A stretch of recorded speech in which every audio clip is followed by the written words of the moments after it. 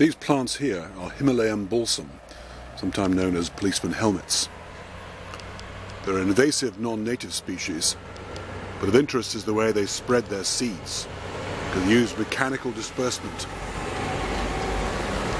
Once the seed pods become fully ripe, tensions build up in the seed coat. And at a certain point when it's mature, it splits and the seeds are thrown metre or so with reasonable force. What's left behind is this curled remains of the outside of the pod.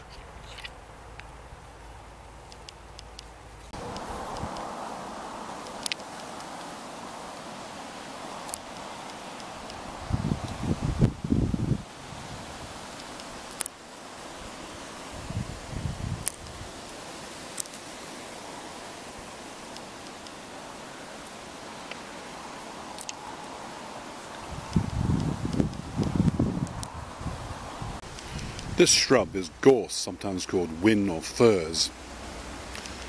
It also has pods that look a bit like pea pods, but much smaller.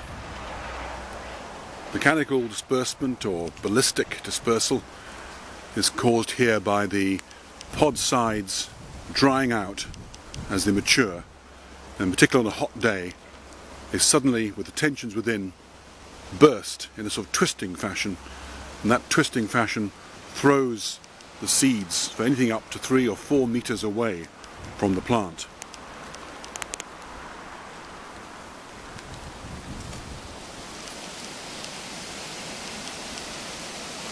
The remains of the flowers are also visible here, the, the light brown structure. The obvious benefit of the seeds being dispersed away from the parent plant is that the two don't compete with each other. So when the seeds germinate, they're growing far enough away from the parent plant not to be um, competing for water, for light, for space and so on. This small shrub is broom. The pea-like pods are much larger here and the twisting of the pod when it's dispersed the seed by this ballistic method is much more obvious.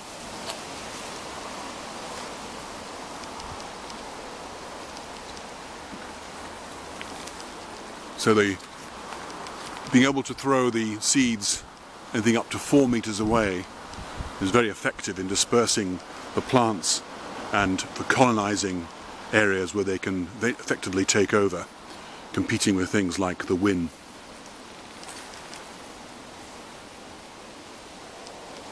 There's one story from some years back where a lady was getting very tired of what she thought was children throwing gravel at the windows of her house.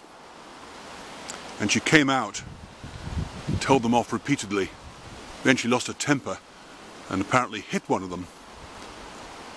She then discovered, of course, that it was uh, a ornamental broom plant growing close to her house that was slinging the seeds against her windows. Mind you, that didn't help her in the court case.